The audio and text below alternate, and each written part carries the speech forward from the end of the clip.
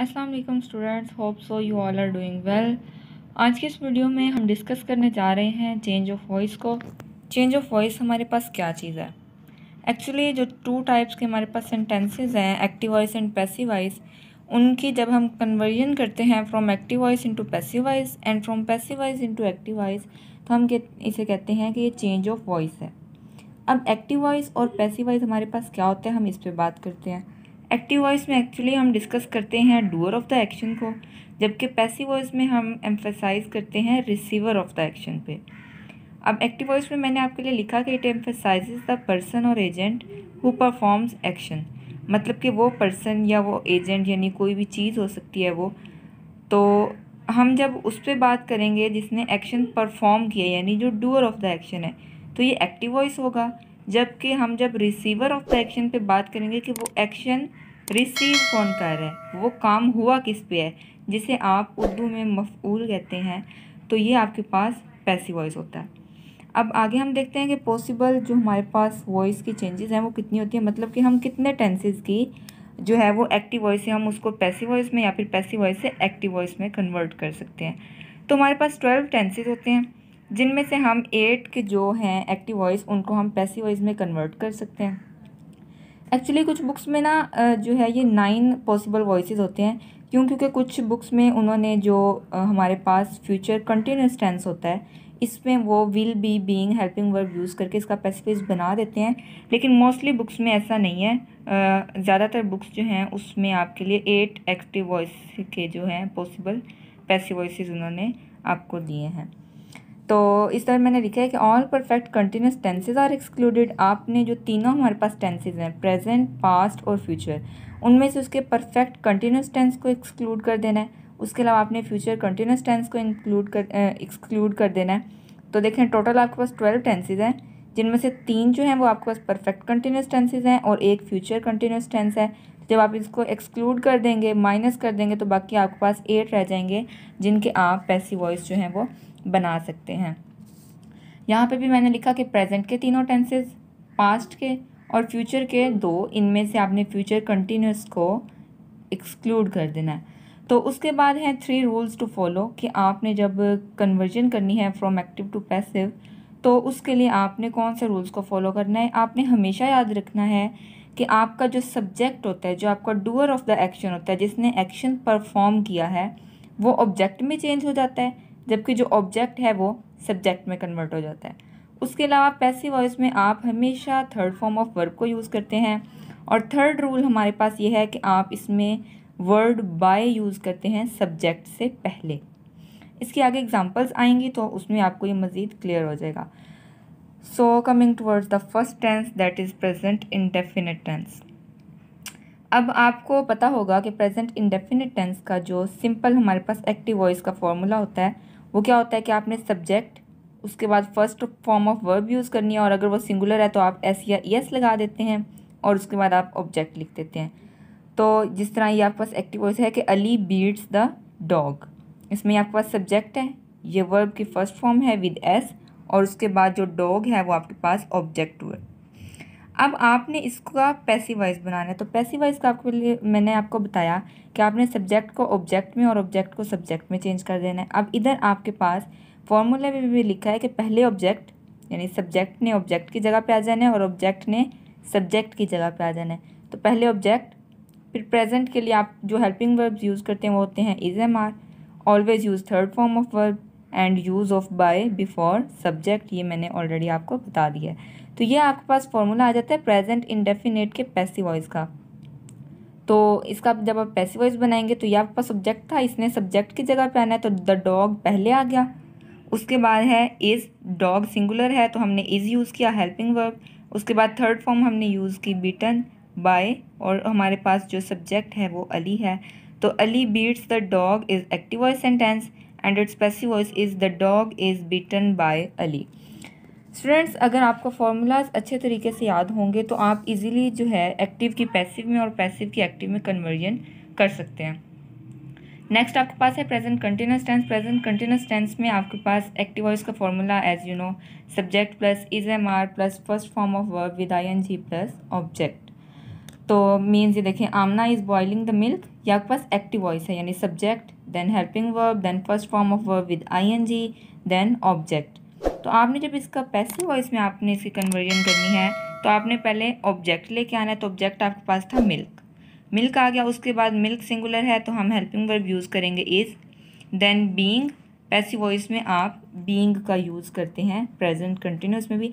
जितने भी continuous tenses हैं, उनके जब आप पैसिव वॉइस बनाते हैं तो आप वहाँ पे बींग यूज़ करते हैं. स्टूडेंट्स जब आपने इसका पैसिव वॉइस बनाना है तो आप क्या करेंगे कि आपके पास फॉर्मूला मैंने बताया कि आपने सब्जेक्ट को ऑब्जेक्ट की जगह पे और ऑब्जेक्ट को सब्जेक्ट की जगह पे लाना होता है।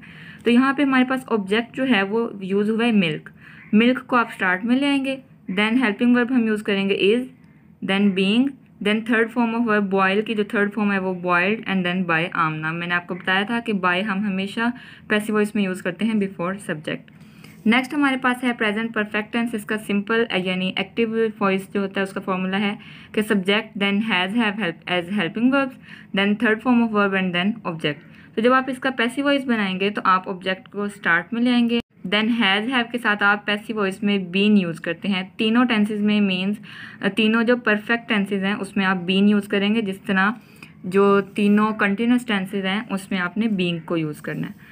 तो यहाँ पे फॉर्मूला है कि object plus has have then been then third form of verb then by and then subject तो आपके पास एक्टिव वॉइस था कि Samavia has baked the cake तो इसमें ये आपके पास केक जो है, ये ऑब्जेक्ट था। अब ये एज अ सब्जेक्ट यूज़ होगा तो cake has been baked by Samavia following this formula next आपके पास आ जाता है पास्ट इंडेफिनेट टेंस हमने प्रेजेंट के तीनों जो टेंसेज हैं, उनको कंप्लीट कर लिया। नेक्स्ट हमारे पास आता है past indefinite tense past indefinite tense का एक्टिव वॉइस का फॉर्मूला है कि subject then second form of verb and then object और इसके पैसिव वॉइस में आप क्या करेंगे कि ऑब्जेक्ट को सब्जेक्ट की जगह पे ले आएँगे।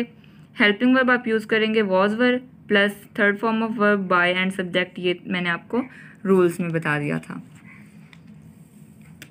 इसके एग्ज़ाम्पल में हम देखेंगे कि एक्टिव वॉइस हमारे पास है कि our team won the match our team subject हमारे पास सब्जेक्ट है then second form of verb and then object तो अब जब इसका पैसिव वॉइस करना है तो object as a subject use होगा means the match then match singular use हो रहा है तो हम इसके साथ वॉज़ यूज़ करेंगे third form of verb by and then subject next है past continuous tense past continuous में भी सेम वही चीज़ है कि आपने सब्जेक्ट के साथ was verb as helping verb use करने होते हैं.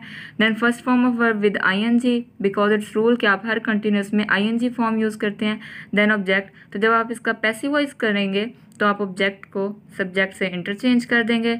Then you will use was verb as helping verb then being plus third form of verb plus by and subject active voice आपके पास था. इस एग्ज़ाम्पल में आप देखें कि he was singing a song अब देखें, ही आपके पास सब्जेक्ट है और सॉन्ग ऑब्जेक्ट है, इनको इंटरचेंज कर देंगे तो सॉन्ग यहाँ पे आ जाएगा। A song then song is singular we use was a song was being sung by him this is the third form this is by which is written in the rules three rules to follow and then subject next tense आपके पास आता है past perfect tense past perfect tense बहुत ही easy है। इसमें आपने subject के साथ सिर्फ़ हेल्पिंग वर्ब यूज़ करना होता है. हैड चाहे आपके पास सिंगुलर यूज़ हो रहा है कोई या प्लूरल यूज़ उसके बाद आप यूज़ करेंगे ऑब्जेक्ट को।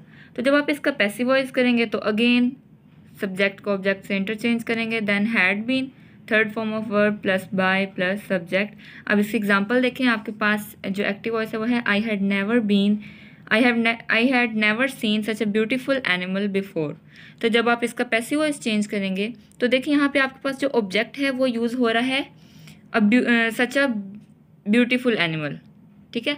तो आप सच अ ब्यूटीफुल एनिमल को आप एज अ सब्जेक्ट यूज़ करेंगे, यानी आप उसको स्टार्ट में ले आएँगे। यानी जो ऑब्जेक्ट था पहले, आपने उसे अब यहाँ पे सब्जेक्ट की जगह पे ले आना है। उसके बाद क्या है कि मैंने आपको फॉर्मूले में बताया कि आपने हैड बीन यूज़ करना है। यहाँ पे आप लिख देंगे हैड नेवर बीन क्योंकि यहाँ पे भी नेवर यूज़ हुआ था। उसके नेवर मीन्स कभी नहीं। इसका मतलब है कि मैंने इतना खूबसूरत जानवर पहले कभी नहीं देखा था। तो अब यहाँ पे क्या है कि such a beautiful animal had never been then we use third form of verb तो यहाँ पे आ जाएगा seen by me before okay so next हम मूव करेंगे फ्यूचर इंडेफिनेट टेंस पे। फ्यूचर इंडेफिनेट टेंस में आपके पास जो एक्टिव वॉइस है, उसका फॉर्मूला होता है कि सब्जेक्ट देन विल या shall as helping verb then first form of verb and object तो जब आप इसका पैसिव वॉइस बनाएँगे तो वो आपके पास बन जाएगा object plus will shall and then you will use be then third form of verb plus by plus subject ठीक हो गया?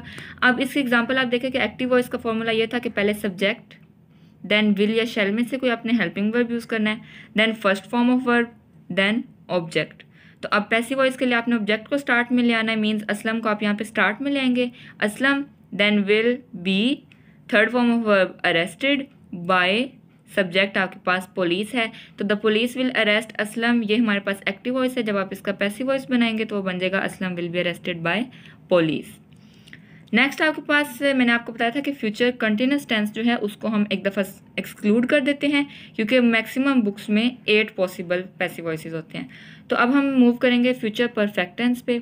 इसका एक्टिव वॉइस का फॉर्मूला होता है कि subject then you will use will shall plus have plus third form of word plus object जैसे इसके एग्ज़ाम्पल में मैंने लिखा कि द बॉयज़ ये सब्जेक्ट है। देन विल शेल में से आपने एक हेल्पिंग वर्ब यूज़ करना है देन हैव फिर थर्ड फॉर्म आपके पास है लर्न और उसके बाद है ऑब्जेक्ट ठीक हो गया। जब आप इसका पैसिव वॉइस बनाएँगे तो पैसिव वॉइस में आपके पास आ जाएगा कि पहले object means everything then will then have been then third form of verb which is learn then by and subject ये थे आपके पास एट टेंसेस जिनके आपने एक्टिव वॉइस से पैसिव वॉइस में कन्वर्जन की। आपने अब उसके बाद देखना है ये नाइन्थ टेंस जिसका मैंने आपको बताया कि कुछ बुक्स में इसके जो है वो पैसिव वॉइस पॉसिबल होती है।